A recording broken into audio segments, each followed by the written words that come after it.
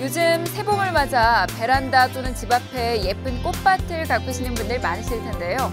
화성시 농업기술센터에서는 도시 농부들을 위해 실내 정원과 화훼 장식을 건강하고 아름답게 키우는 원예스쿨을 운영하고 있습니다.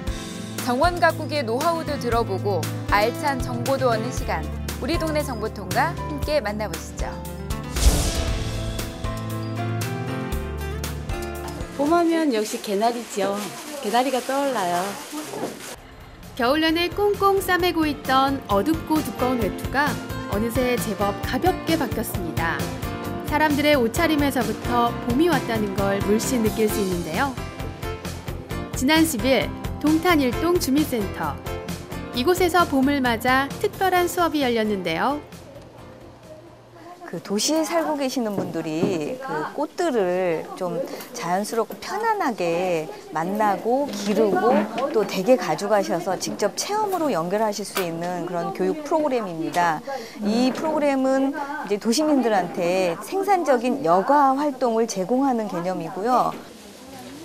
화성시 농업기술센터에서 마련한 프로그램은 동탄과 동부 각 지역에 직접 찾아가 시민들에게 실내 정원과 화훼 장식에 대한 이론과 실습을 가르치는 것인데요. 집에도 화분을 좀 기르고 있는데 어, 화분 그 관리 이론도 잘 모르고 그래서 교육을 통해서 배우고 싶어서 참여하게 됐습니다. 매년 상반기, 하반기로 나눠져 실시되는 한마음 원예스쿨. 원예스쿨을 통해 많은 시민들이 원예에 대한 이해를 넓혔습니다. 올해도 어김없이 각 기수당 40여 명, 총 200여 명의 사람들이 한 달 동안 다양한 식물 이론과 실습을 할 예정입니다. 오늘은 그 다육식물, 이제 잎이 두터운 식물들을 이제 C4 식물이라고 해가지고요. 이런 식물들은 이제 밤에 CO2를 흡수했다가 그 다음에 낮에 이제 O2를 내뿜는 이런 역할을 하는 그런 식물들인데 이 다육식물을 관리하는 요령하고 그 다음에 또 번식하는 방법이나 또 이제 그 모둠으로 작품을 심어보는 그런 작품 활동을 하는 시간입니다. 올해 첫 한마음 원예스쿨의 수업 주제는 모둠 다육.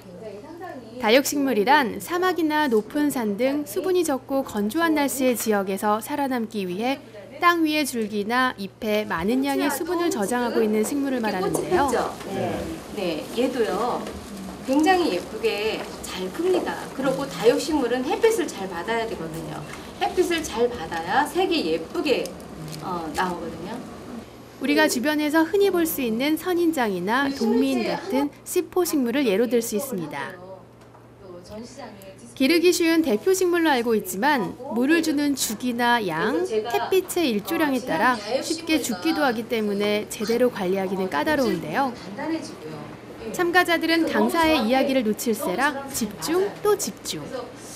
직접 실습을 해보기도 합니다. 환엽 송록과 같은 다양한 다육식물들이 실습을 위해 준비됐습니다. 이제 막 봄을 맞은 듯 꽃망울을 피웠는데요. 얘네들은 이 흙 자체는요. 진흙이 아니에요. 부엽토예요.